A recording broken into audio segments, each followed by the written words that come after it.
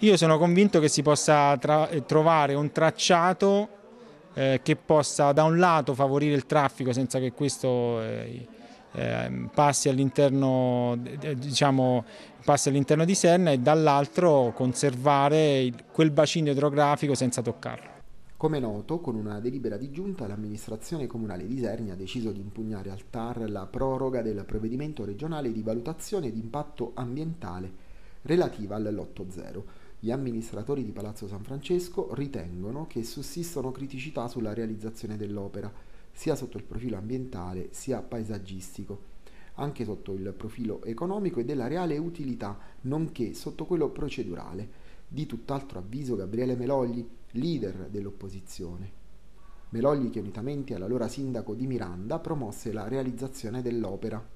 Per quello che ne so io dal punto di vista tecnico sono stati rispettati tutti quanti, tutti quanti sono stati fatti tutti i passaggi indispensabili perché l'opera fosse realizzata nel migliore dei modi e fosse eh, una realizzazione che rendesse tranquilli tutti, sia i cittadini di Pesca che di Miranda e soprattutto i cittadini di Isernia. Quindi veramente rimango senza parole. Poi quando sento parlare di questi risparmi di tempi, onestamente mi viene da sorridere e non da ridere perché eh, devo, come si può pensare a qual è il risparmio se l'opera non è stata ancora realizzata? È chiaro che oggi passeranno 100 macchine per dire, eh, per fare un esempio, ma il giorno in cui dovesse essere realizzata l'opera non ne passeranno 100, ne passeranno mille di macchine, perché tutti quelli che oggi fanno la strada per andare a Roccaraso e che seguono, che eh, passano praticamente da Roccaravindola, salgono da Roccaravindola, è chiaro che eh, sarebbe sicuramente più opportuno fare quest'altra quest strada.